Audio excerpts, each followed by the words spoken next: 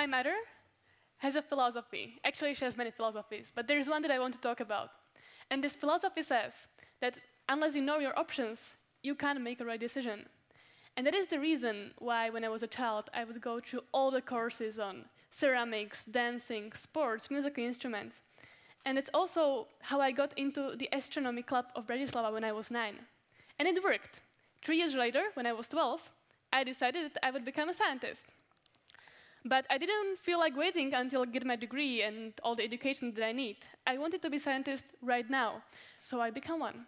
And I was extremely persistent, extremely stubborn, and even annoying. I started to download scientific papers from the internet, translate them word by word because I didn't speak English well. And I remember once I needed data from my space telescope for my research.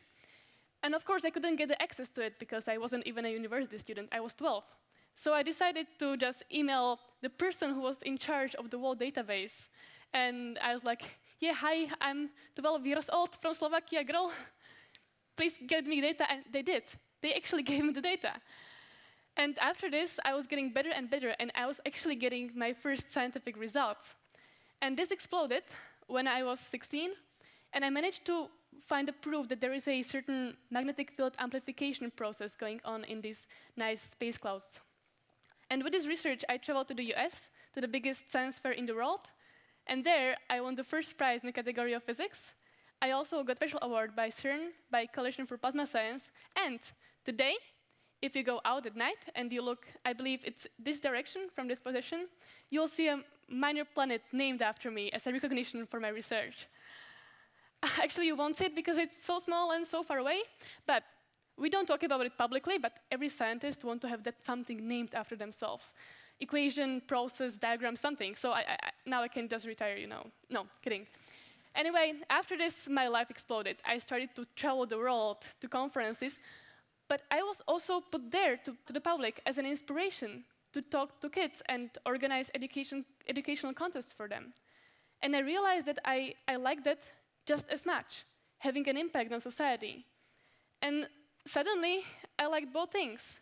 I couldn't decide, and it occurred to me that this was not only about doing lectures, about doing uh, educational contests. This was also about the focus on my research.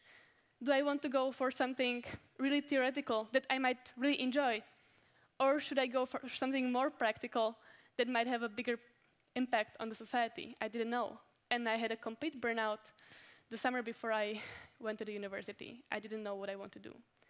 And at this point, I realized that I have to step back and see what's in me and what I actually want to do. And how I got my motivation in the first place. Because this whole question of motivation, it was so hilarious to me during the whole phase of competitions and high school. Everybody would ask me, like, how did you get this competition? Almost as if it was some form of a disease, like, how did you get Ebola? No.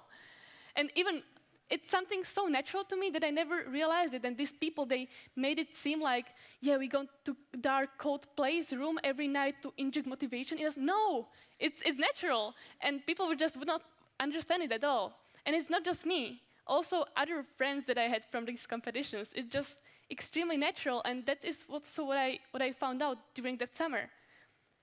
Curiosity, scientific curiosity, and exploring the world it's a human instinct. We need it to be curious, to create tools, explore the surroundings, to get advantage against our enemies eh, in the past all days.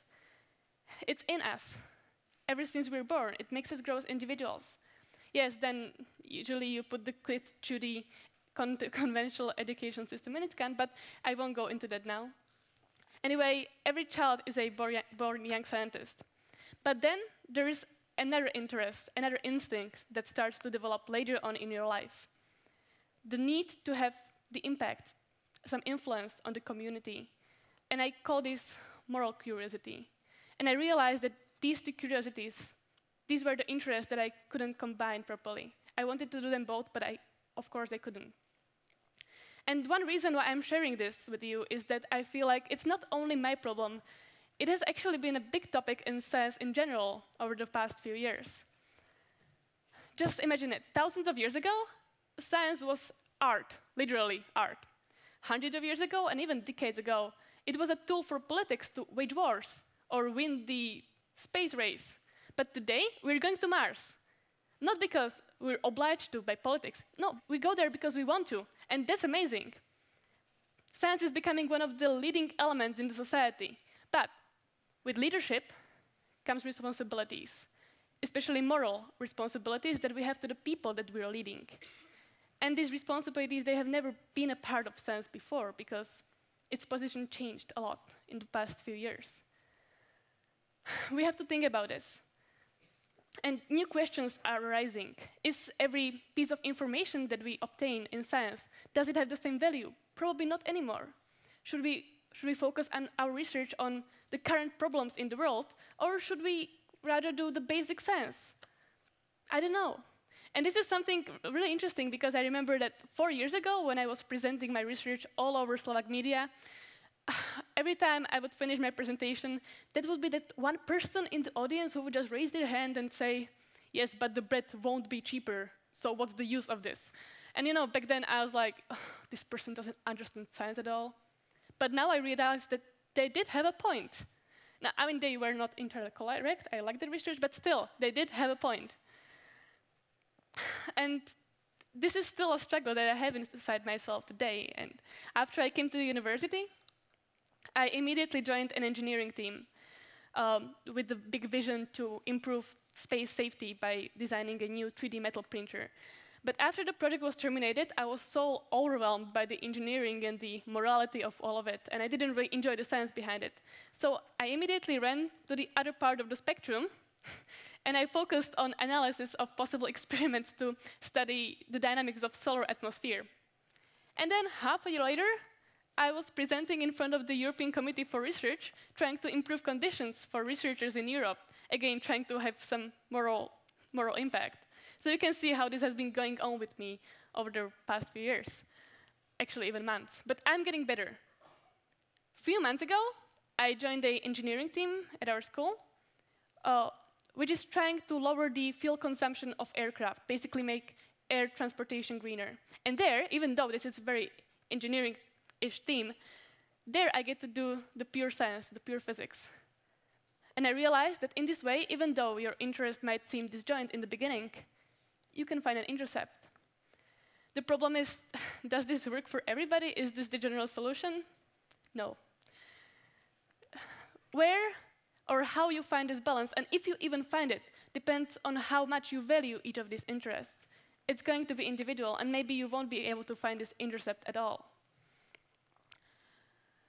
What is very interesting in this is that everybody in the scientific community has a completely different opinion on this topic. And if you don't trust me, just go online, use your internet, make two friends, find a very passionate theoretical physicist and find a very passionate applied physicist.